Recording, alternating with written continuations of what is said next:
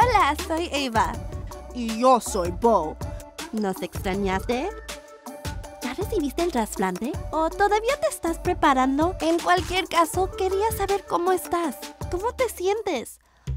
Hoy vamos a hablar de algo que a veces sucede después de un trasplante, pero definitivamente no con todos los niños. Es posible que tu médico te lo haya comentado.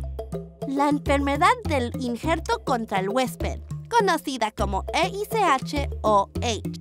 Es cuando el trasplante, es decir, las células del donante, cuando entran en contacto con tus propias células, se dan cuenta de que no eres el donante. Cuando las células del donante ven que las células de tu cuerpo son diferentes, pueden intentar luchar contra ellas. Mi médico me explicó que hay dos tipos de H, aguda y crónica.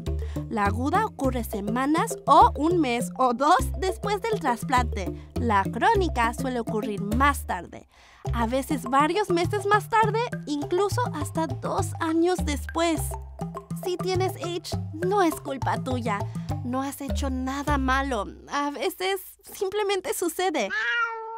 Cosas que puedes hacer para ayudar que las células del donante trabajen junto con tus células.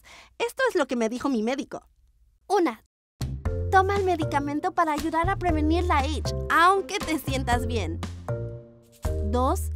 Quédate a la sombra. Sí, evita estar al sol.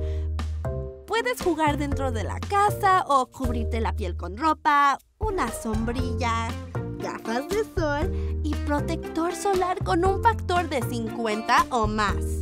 3. Si sientes o ves algo nuevo en tu cuerpo, díselo a tus padres. Entonces, ¿cuáles son los signos del H? Justamente tengo a mi amigo Jaden para que te lo diga.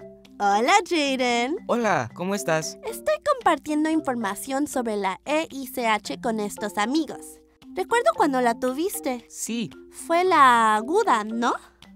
Así es, fue como dos meses después de mi trasplante. Cierto. Sí, y cuando me di cuenta de que tenía náuseas, se lo dije a mi mamá. Tenía el estómago revuelto. Oh, un chico de mi clínica tuvo un sarpullido y también era H. Ah, sí. ¿Y cómo supiste que era eso? Mi médico examinó los resultados de algunos de mis análisis y ya la confirmó. Luego tuve que ir a verlo muchas veces. Qué desagradable, te entiendo perfectamente. Mis padres y el médico me dijeron que todo lo que sentía era normal. A mí también, menos mal. Sentí muchas cosas distintas.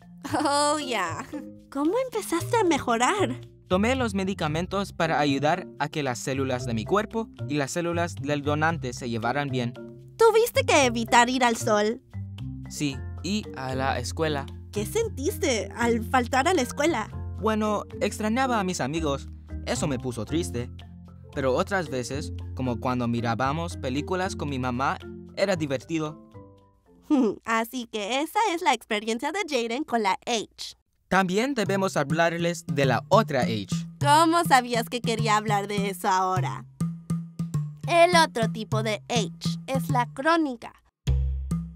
Aparece un poco más tarde, a veces sientes los ojos secos, te empieza a picar la piel o te quedas sin aire más menudo. Tus padres y tu médico estarán atentos a muchas cosas. Tú eres quien mejor conoce tu cuerpo. Aunque te dé temor, si sientes o ves algo nuevo en tu cuerpo, díselo al adulto que te cuida.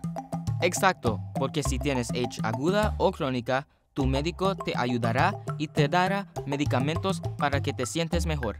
Solo recuerda, la EICH no es culpa tuya. Y todo lo que sientas es normal. ¡Adiós! Adiós.